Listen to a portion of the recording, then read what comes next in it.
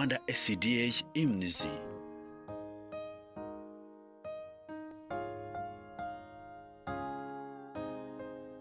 ndagusuhuje kandi nkwifurije ibihe byiza. Wowe muvandimwe ukunda kumva amateka y'indirimbo kuri Rwanda SCDA Imnizi benshi mu bafundi bakomeye bagiye bavuga ko kugira ngo inzu ikomere igomba kuba ifite by'umwihariko urufatiro rukomeye. Ikaba yubatse ahantu hacukuwe cyane ndetse by'umwihariko hacukuwe neza ku buryo mu gihe inzu izikorera ibindi bikoresho bitandukanye itazahungabana cyangwa ngo itwarwe n'umuyaga. Muvandimwe ndakumenyesha ko uyu munsi tugeze ku ndirimbo ivuga ngo nkomeze nge niringira. Nikomeze ku rutare. Naho ahandi. Ni umusenyi. Ni indirimbo ya mirongo itatu n'icyenda mu gitabo cy'indirimbo zo guhimbaza imana mu kinyarwanda. Mbese iyi ndirimbo ivuga ibyo kubaka ku rufatiro nyarwo. Ninde wayihimbye? Ntujye kure kugira ngo wumve iby'uyu muhimbyi. Nitwa jacques lameke ngwino tubane mu mateka y'indirimbo zo guhimbaza imana. Rwanda SCDA imnizi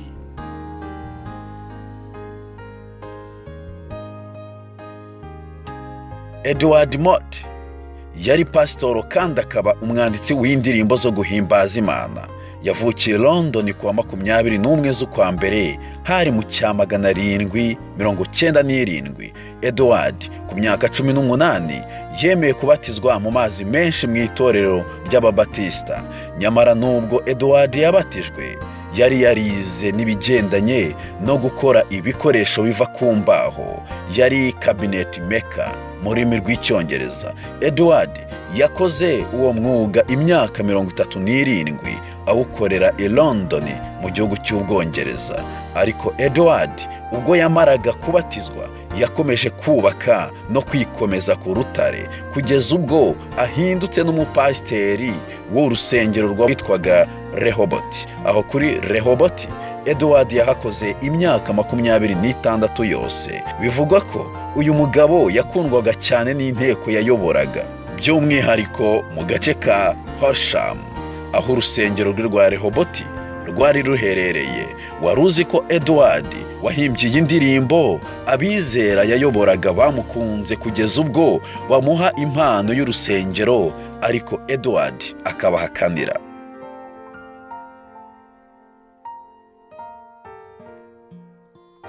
Rwanda SCDA imnizi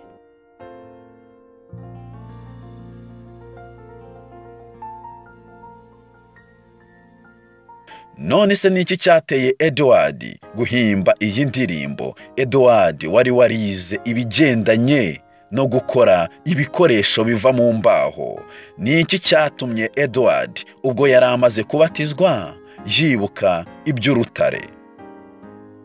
Igihe kimwe mu mwaka w'icyamagana inani mirongo itatu n'ine edward mott umuhimbyi w'iyi ndirimbo yerekezaga ku kazi. Edward muri we yiyumvisemo ubuntu ndengakamere bwa yesu kirisito edward yiyumvisemo ubunararibonye bw'ubuntu buva muri yesu. Hari mu gitondo edward nk'umuhimbyi w'indirimbo inyota yo guhimba indirimbo yashibutse muri we ngo maze yibuka igitekerezo yesu yigeze kuvuga cyerekeye iby'abubatsi babiri. Muri abo bubatsi umwe yari umuhanga undi ari umuswa kandi ngo ari n'umupfapfa. Aba bubatsi bari batandukaniye hehe se? Bari batandukaniye ku mfatiro bashinzeho amazu yabo. Bivugwa ko uw'umunyabwenge yari yarubatse inzu ye ku rufatiro rw'amabuye ibuye rikomeza imfuruka. Nuko ngo imvura iragwa imivu iratemba umuyaga urahuha byose byikubita kuri iyo nzu ntiyagwa kuko yari ishinzwe ku rutare. Yakomeje kwibaza ibya ya nzu y'umupfapfa.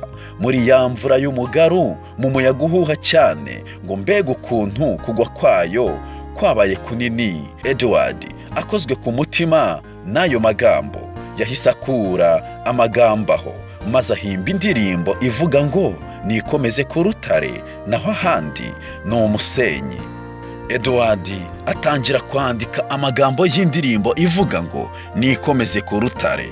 Nkomeze njye niringira amaraso y'umukiza. Sinagira undi nigana. Keretse yesu wenyine. Umwijima numpumisha niringira imbabazi ze.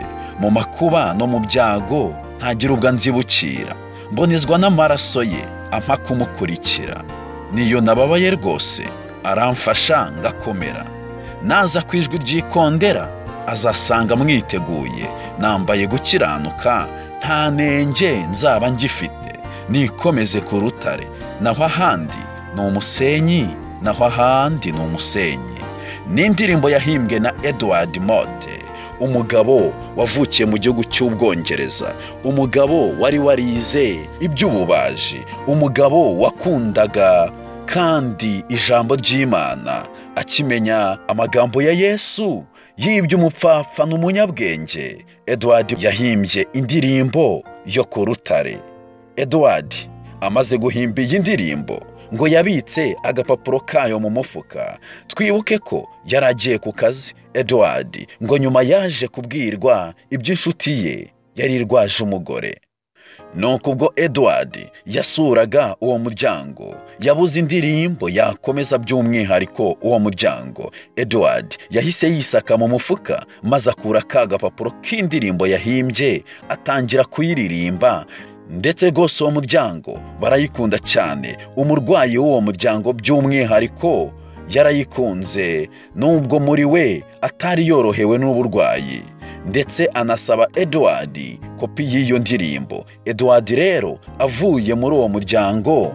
Yahise ahimba n'ibindi bice byari bisigaye. Edward nyuma yaje kohereza iyo ndirimbo yarangiye mu macapiro. Indirimbo igenda imenyekana inasohoka mu bitabo bitandukanye. Kugeza uyu munsi turayiririmba ngo nikomeze ku rutare naho ahandi ni umusenyi. Nshuti muvandimwe ndakumenyesha ko ari wowe nzu kandi urutare ari yesu. Ukwiye kumenya ko imyizerere yawe wayubatse ku rutare ku ibuye rikomeza imfuruka. Nibwo mu muraba no mu mvura y'umugaru cyangwa mu muyaga inzu wubatse ku rufatiro nyakuri arirwo yesu idashobora kuzagwa. Ariko niba warubatse ku musenyi urufatiro rwo kwizera kwawe rukaba atari yesu nta kabuza mu gihe cyo kugeragezwa n'umuyaga uhuha cyane cyangwa amahindu yo mu mvura y'umugaru inzu yawe izagwa kuko wayubakishije ibikenyeri kandi ukabishinga ku musenyi. Iyi ndirimbo yongeye gukorerwa injyana ihimbwe na william bradbury. Ari na yo njyana tuyiririmbamo. Hari mu cya magana inani mirongo itandatu n'itatu. Umuhimbyi w'iyi ndirimbo edward mott yaje gupfa mu cya magana inani mirongo irindwi n'ine. Hari ku itariki cumi n'eshatu z'ukwa cumi na kumwe. Ashyingurwa kuri rwa rusengero rwa rehoboti imyaka yo kubaho kwa edward yabaye mirongo irindwi n'irindwi. Edward ava mu mubiri. Nshuti muvandimwe dusoreje aha amateka y'indirimbo twavuzeho uyu munsi yavugaga ibyo kubaka ku rutare. Indirimbo ivuga ngo nkomeze nge niringira nikomeze ku rutare. Naho ahandi ni umusenyi kandi urutare ni yesu.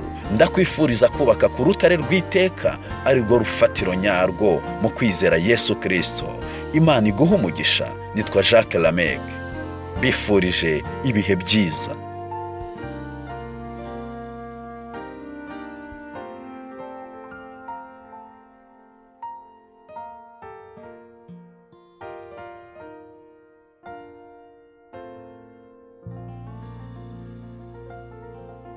Under SCDA imnizi